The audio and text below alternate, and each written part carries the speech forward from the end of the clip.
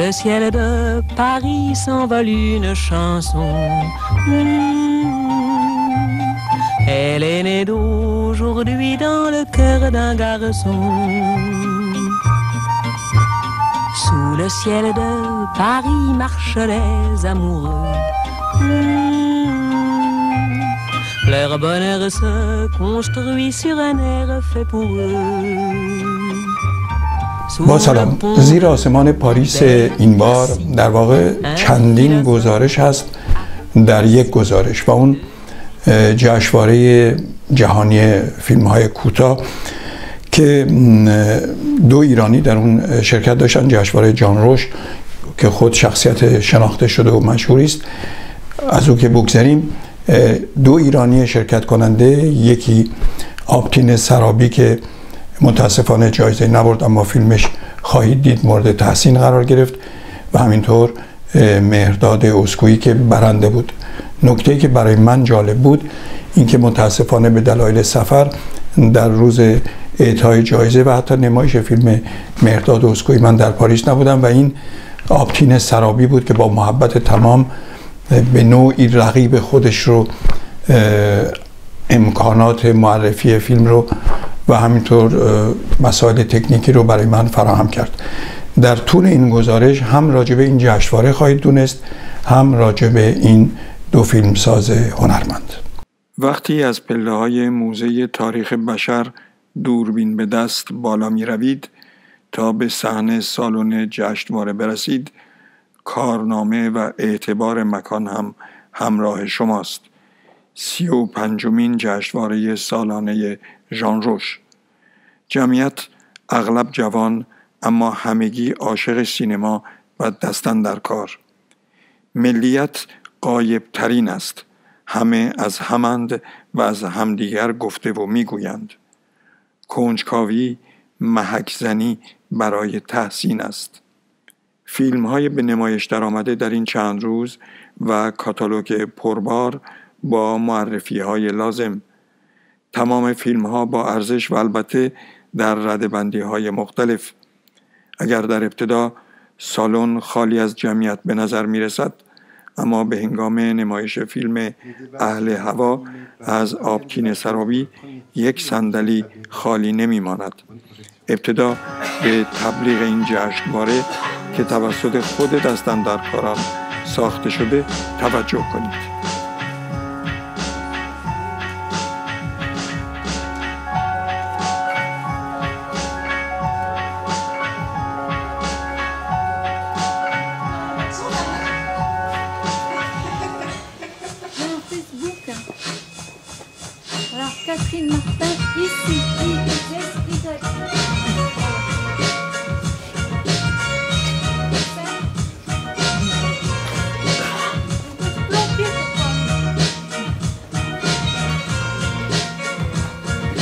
و حالا قبل از آن که گوشه های از فیلم را با کیفیت بسیار خوب ببینید صحنه های از حال و هوای داخل سینما و زمان نمایش آن شاید لازم باشد.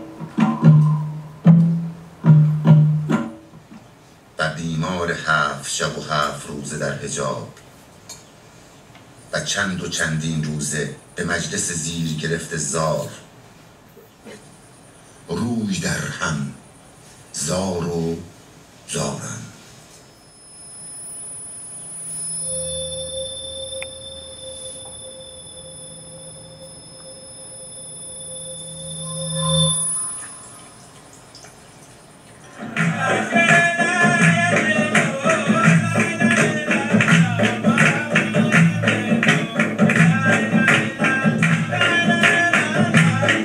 در اینجا قبل از گفتگو با آبتین سرابی کارگردان توضیحاتی را از سوی خود او و صحنه‌های از فیلم را با هم ببینید و بشنوید.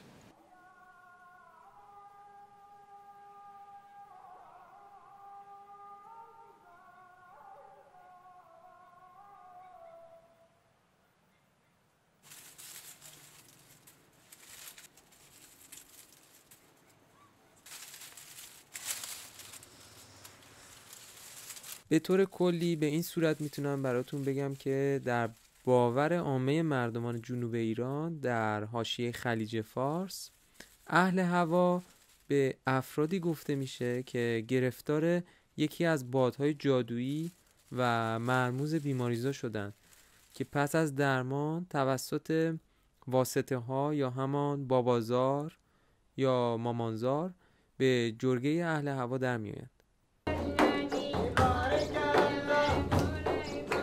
و بادها و زار و زاران. و خیزرانی کوی و برزن به هواخواهی اهل هوا به جار بلند. و دختران هوا خوشخان همه هماوایان قریب مردی باد سر. و صافی های اهل عشق کفزنان و دخول دست.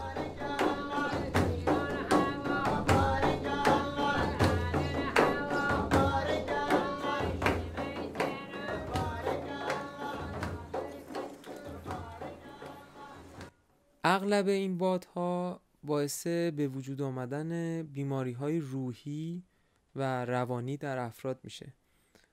طی دیدارهایی که با چند بیمار در شهرهای مختلف هرمزگان داشتم وقتی حالتهای بیماریشون رو برام تعریف می‌کردم های بسیاری به بیماری اسکیزوفرنی یا روانگسیختگی داشت.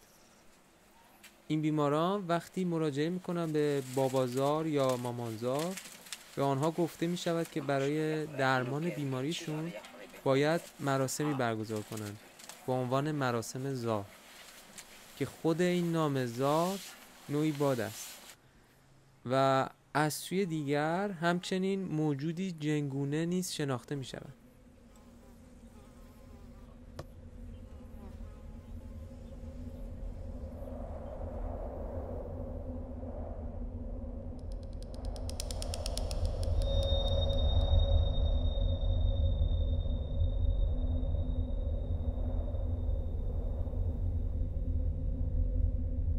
بادزار با پیر و پیغمبر نداره با دکتر نداره. دکتر آقا زور نمی‌کنه. دکتر زور نمی‌کنه. دکتر آمپول می‌زنه شربت میره چی می‌کنه؟ چیزی نمی‌کنه؟ ما به ضرب دعا خوندن اگر جن بشه جنا دور می‌کنیم. اگر زارم بشه به ضرب خوندن و در زدن. همین این دفعه. می‌خوانیم می‌زنیم حتما هزار پایین میاد. من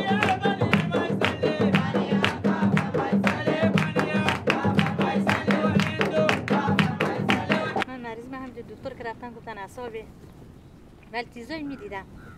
از خونه نمی‌تونستم برم سر عروسی نمی‌تونستم برم. هیچ جا هم درد نمی‌کردم. فقط میفهمیدن که دارم میمیرم. یا دارم مثلا هر آن خبر بیارم. یه جوان بود همراه هم بود یه جوان مرد بود پسر بود. هر جا می‌خواستم بره با من بود. خودم می‌دیدم ولی کسی دیگه هم نمی‌دید. هر جا می‌خواستم برم به من می‌گفت نرو نرو. سر روسی می‌خواستم برم گفت نرو. فقط تو خونه بودم افسرده بودم همیشه تو خودم بودم فکر.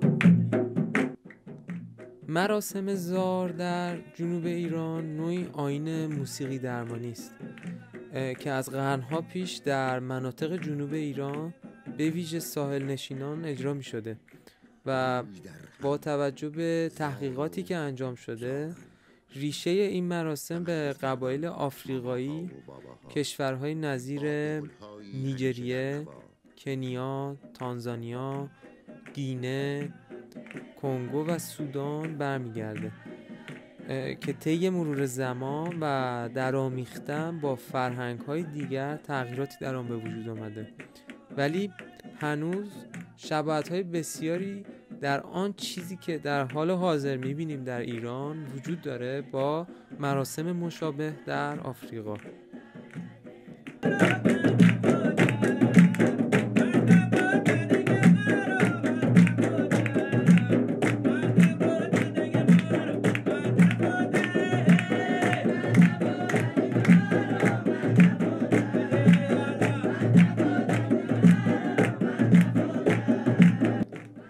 عنوان نمونه اگر بخوایم مقایسه کنیم می‌توانم بهتون بگم که من برای تحقیق قبل از ساخت فیلمم تمامی فیلم هایی که ژانقوش مستندساز و قومشناس فرانسوی از مراسم قبایل مختلف آفریقایی تهیه کرده بود رو دیدم و به تمامی این شباهت ها پی بردم. به طور مثال می توانم اشاره کنم به نگه داشتن بیمار برای درمان به مدت هفت شبانه روز در محلی به نام هجاب که حالتی قرنطینه داره و بیمار پنهان از دید دیگران قبل از برگزاری مراسم زار و همچنین رقصیدن نشسته روی زانو که این شباهت ها رو می توانیم در فیلم درآمدی بر رقص تسخیر شدگان ساخته ژانقوش که مراسم هورندی در نیجریه رو نشان می‌دهد. ببینید.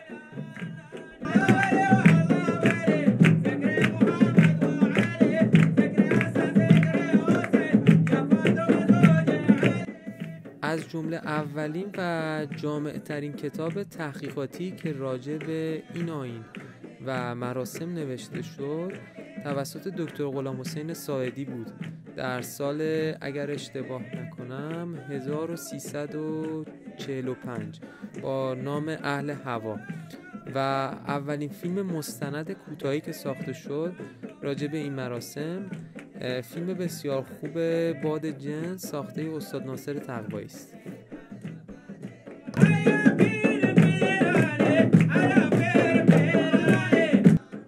ساخت برخی از نماهای فیلم سعی کردم از فرم مستند کلاسیک و رپورتاج ساده دور بشم.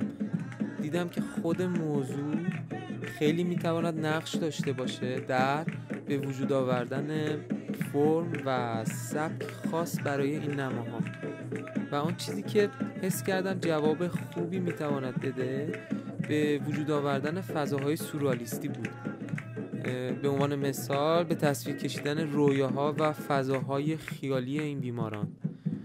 از هایی که در به قدرت رسیدن این تصاویر سورالیستی کمکم کرد می توانم اشاره کنم به جغرافیا و مناظر بکر و خاص منطقه فرم و رنگ لباس زنان و همچنین به ناشناختگی و رمزآلود بودن این مراسم.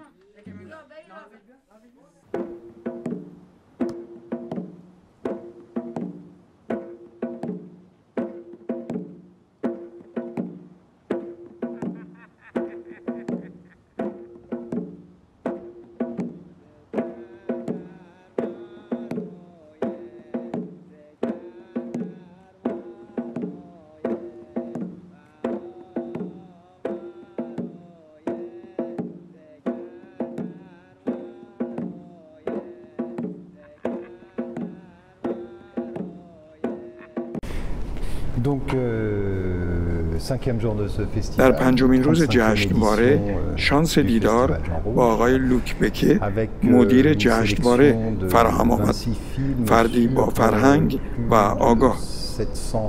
از او پرسیدیم امروز شما به عنوان مدیر نمایشگاه در کجا ایستاده اید؟ بله در پنجمین روز جشنواره هستیم. سی و پنجمین سال برگزاری. 26 فیلم از 750 فیلم دریافتی انتخاب شد. چهار ماه برای انتخاب وقت گذاشتیم. انتخاب کنندگان چه کسانی هستند؟ آیا هیئت بین المللی است؟ کمیته برگزیننده شامل ده نفر می شود هر کس سلیقه فردی و سپس سلیقه تمام گروه بله و نه داور کار است حتی اگر یک نه شنیده شود نه نفر دیگر باید فیلم را ببینند آیا موضوعات هم انتخابی است یا اینکه هر سال تمی دارد و یا اینکه کارگردانان آزادند طبیعتا آزادی کامل است اما مواردی هم باید رعایت شود. آغوش جشنواره به روی داوطلبان باز است. می‌دانید موضوعات و اهمیت ها سال به سال تغییر مییابد. مثلا دو سال پیاپی موضوعات بیشتر شامل افراد سالمند می‌شد. امسال حتی یکی هم به این موضوع نگاه نکرده چه از چین باشد چه از امریکای جنوبی. اما امسال حیرت آور فیلم های زیادی درباره موسیقی داشتیم Pendant deux ans, on a eu par exemple beaucoup de films sur euh, les personnes âgées, Oui. les maisons de retraite, donc un problème de société qu'on a senti comme ça qui passait. Cette année, par exemple, on n'en a pas eu. Oui. C'est extraordinaire. Et c'est des films qui venaient de, aussi bien de Chine que d'Amérique latine, que voilà, de différentes parties du monde sur un thème. euh, et cette année, euh, curieusement, par rapport aux autres années, on a eu beaucoup de films sur la musique. Et j'entends de, de bons films qu'on avait envie de projeter, euh, ce qui n'était pas le cas avant. On a des noms très connus aujourd'hui qu'ils ont passé par آیا notre نام festival. های شناخته شده سینما را Ah, bah oui. داریم Bah, که le از این festival جشنواره existe عبور depuis, کرده باشند؟ euh, 82. بله طبیعتا جشنواره Quand از سال Jean Roch fait, euh, le bilan du film 1982 qu'on a fait آغاز à شد l'époque, با et bien ابتکار sûr, ژان le روش qui est یک passé, پرسش خصوصی در پایان هر جشنواره رضایت شما چگونه فراهم شده و یا در آینده فراهم خواهد شد. باید بگویم در طول جشنواره محو تماشای فیلم ها شدن و از دنیای برون فاصله گرفتن چیز شگفتآوری است اما پرسش شما دشوار است رضایت در دیدن بیان تصاویر بسیار قابل لمس و زیبا می شود با جامعه سخت و سنگین ارزش ها فرصت علنی شدن می آبند. مردمانی که در موضوعات گوناگون تلاش می کنند آشنایی با کارگردان سراسر جهان. شنیدن و دیدن افکار و باورهایشان. Le côté de plus en plus fermé, il y a toujours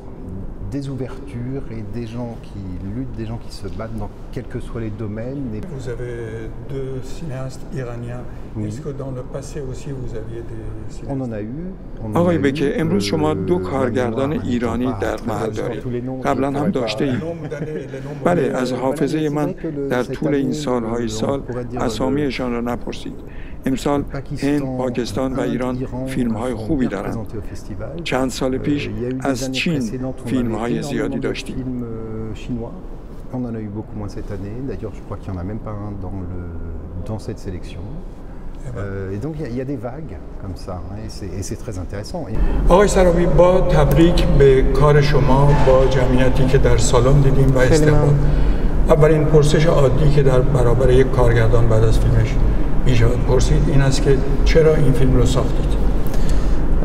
عرض شود که من اولین باری که آشنا شدم با این موضوع تو تهران بود کنسرت یکی از همین بابازارا که شما تو فیلم دیدین به نام غلام علی مارگیری که با خانومش کنسرت های متعددی رو روی موسیقی همین زار که اجرا می‌کنن در تهران داشتن و اولین آشنایی من با این مراسم اونجا بود.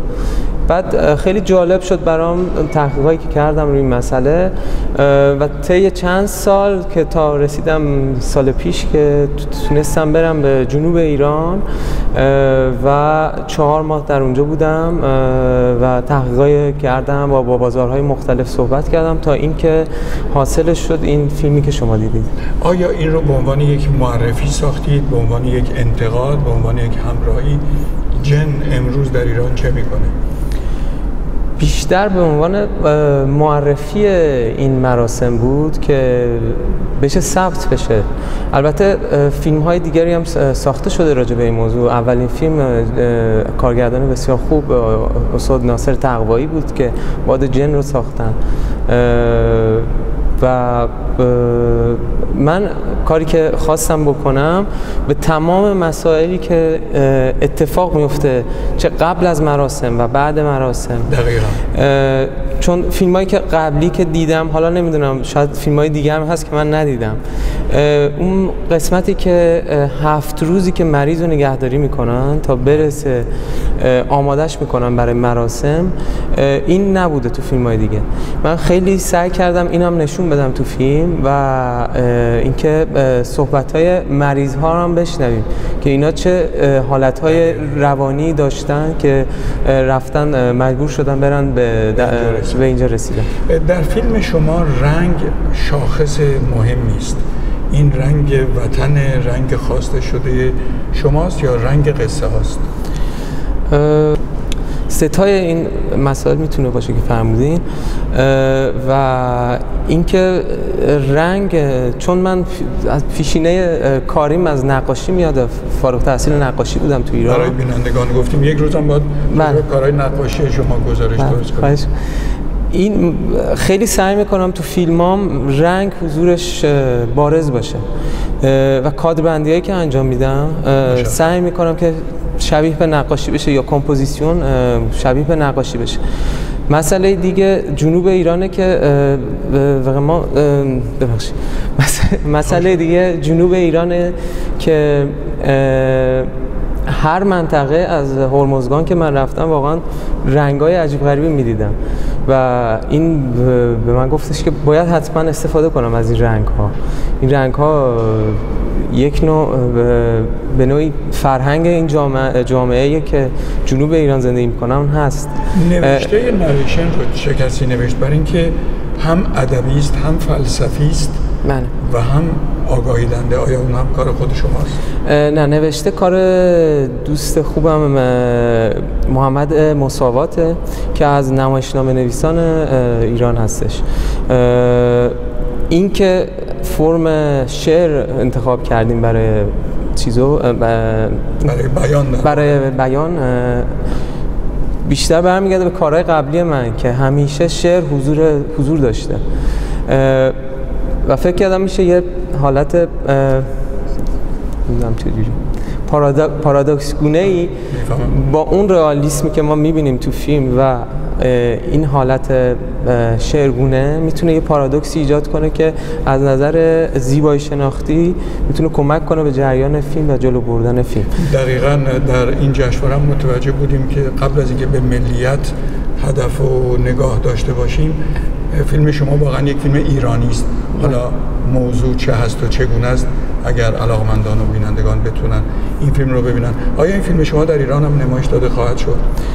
امیدوارم بتونم نشون بدم تو ایران. هم و آیا باز هم فیلم های دیگری در همین فرانسه خواهید ساخت؟ در حال حاضر در حال نوشتن سناریو هستم. حالا باید دیگه مراحل بعدی پیش تولید به وجود بیاد تا بتونم فیلم های دیگر رو انجام بدم. مدیر جشنواره بسیار خوشبین بود به کار شما. همونطور که ایشون هم اشاره کردن انتخاب فیلم شما در 700 فیلم خودش نوعی تایید و تشویق برای راه و کار شما. سپاس شما. و حالا در فرصت باقی مانده فیلم مهرداد اسکویی رویاهای دم صبح را ببینید که در جشنواره جایزه گرفت. هیچ کس بله. چرا خوابت نبرده؟ صبح به این زودی آخه امروز آزاده.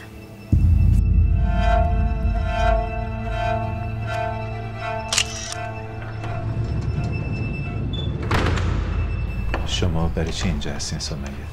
یه شب تصمیم گرفتیم با اونو بکشیم. چرا اسم 651 رو بر خودت انتخاب کرد؟ همون اندازه ایه که دم ازم گرفتم چقدر مثلا خفگیری زورگیری آدم رو بایی حکم شده ادم یادم نیم خیلی زیاد دوستی کرد آرزو چیه؟ مردن. به خدا قرم اینا تلف داره. جرم عاشقی. من حس می‌کنم اینجا درد زیاده. از در و دیوارش درد میباره. من متولد 74 رفتم تو 18 سال. چند وقت دخترتو ندیدی؟ هفت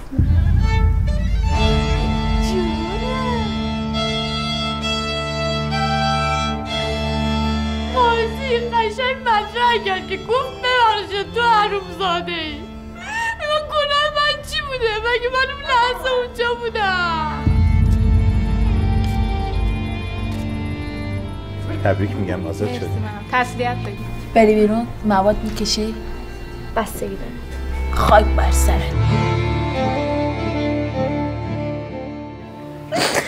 فکرشو می‌کنم دوباره من برگردم تو خیابون دیوونم